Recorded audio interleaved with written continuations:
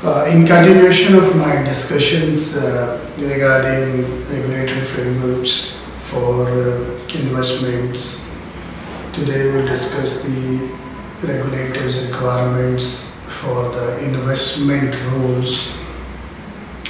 Anyone interested to invest in financial institutions, funds, mutual funds, or any kind of funds, what things they should keep in mind, what rules, regulation, infrastructure uh, from a regulator perspective is required.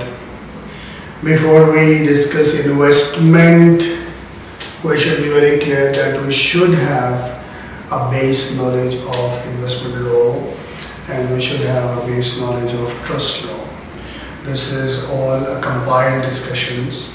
In general, we have to see that there are different stakeholders like fund managers, uh, auditors, and there are corporate bodies who are involved into. So these regulations will be levied on them. In the start of our discussions, we will see that uh, if you are a franchisor, if you deposit money and uh, you have a clearing services, you deals in options, you are a dealer or you are an insurance company or you have a Islamic window.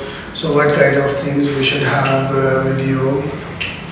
We'll discuss certain type of funds, then how fund operates, how we make the funds. Some uh, investors, they want to give service to fund, administration to fund. Someone wants to create a fund, so what are the different requirements for each purpose? This is, we need to discuss in detail.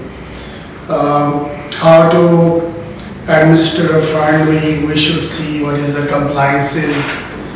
I'm going to discuss in detail the compliances related to fund management, fund administration.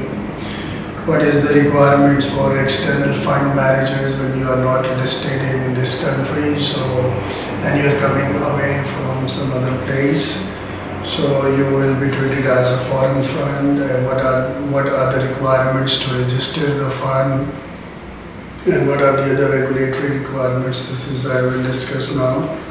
Moreover, we'll discuss that in general, like when you think about a fund, what is the organ, organizational structure of a fund, and who is the decision maker, what things we have to do, what is our rights, and what are our, our obligations, what we are accountable for.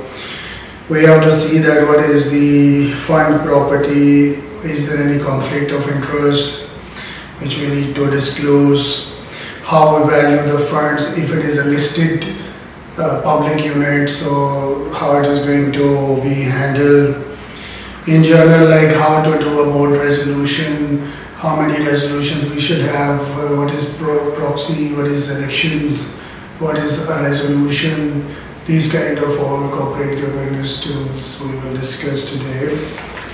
Uh, we will do, we, sh we should discuss the capital requirements because every regulator made uh, certain categories and each category has its own regulations, own requirements of uh, capital which uh, we should be very clear.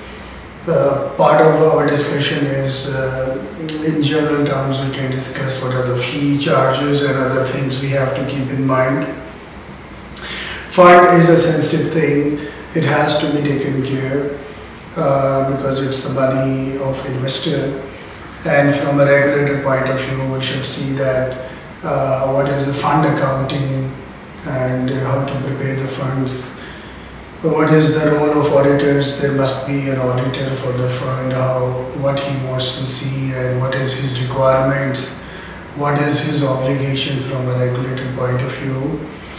Uh, there should be a system of periodic reportings, this is we'll discuss that, what is that system, what are the formats of these reports, this is in detail we will discuss. Shortly we are going to discuss the different type of domestic funds, when it comes uh, to the public funds, what is the difference between domestic funds and international fund, foreign funds,